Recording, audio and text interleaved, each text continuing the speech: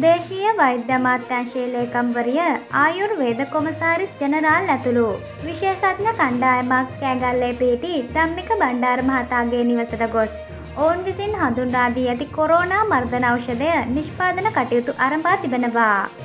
එම ඖෂධය සකස් කිරීමට අවශ්‍ය මී පැණි සාධික්කා ඇතුළු ඖෂධ කීපයක් එම විශේෂඥ කණ්ඩායම විසින් සකස් කර දී තිබෙනවා. විශේෂඥ කණ්ඩායම ඖෂධ නිෂ්පාදනයට දායක වී ඇති අතර ඔවුන්ගේ අධීක්ෂණය මත අද උදෑසනතෙක් එම කටයුත්ත සිදු කර තිබෙනවා. එම ඖෂධ තොගය බෝතල් වලට දමා. මුද්‍රා තබා විශේෂඥ කණ්ඩායමට භාරදී තිබෙනවා.